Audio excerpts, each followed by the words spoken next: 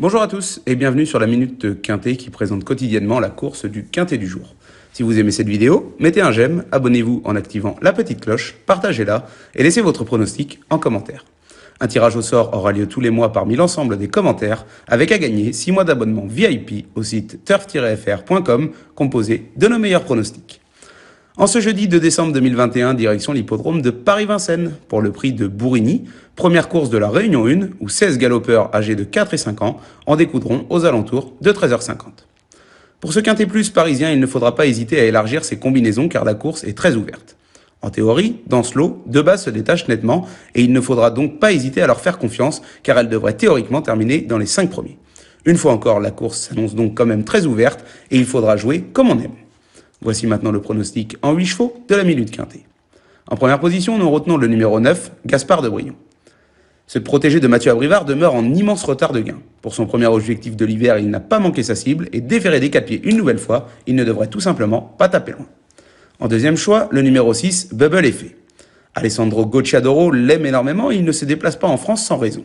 Si ce fils de Nesta Effet reste au trot d'un bout à l'autre du parcours, il devrait lui aussi jouer le succès. En troisième choix, retrouvons le numéro 5, Hermine Girl.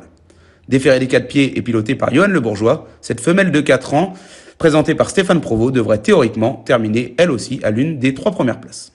En quatrième position viendra le numéro 14, Audi Partner. Thomas McVince l'aime beaucoup et pense que ce protégé, pardon, ce mâle de 4 ans, fils de Repeat peut faire plaisir à son pilote, Adrien Lamy.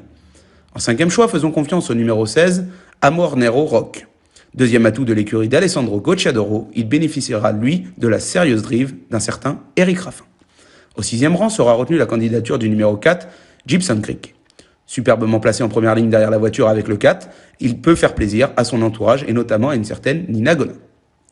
En avant-dernier choix, le numéro 10, Gina Meharas.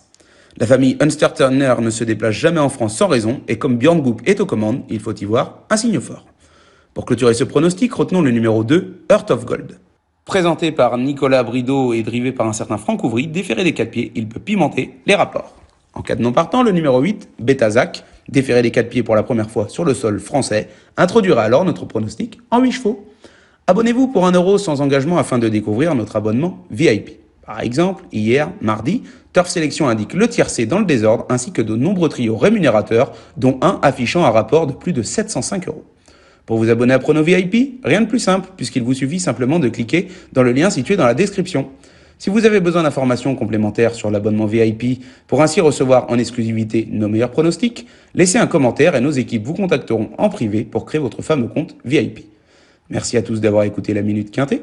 Au passage, n'oubliez pas de vous abonner pour être averti du pronostic de demain en activant la petite cloche de mettre un j'aime, de partager 7 minutes quintées et surtout d'indiquer votre pronostic dans les commentaires afin de remporter le tirage au sort du mois offrant un abonnement VIP turf-fr.com.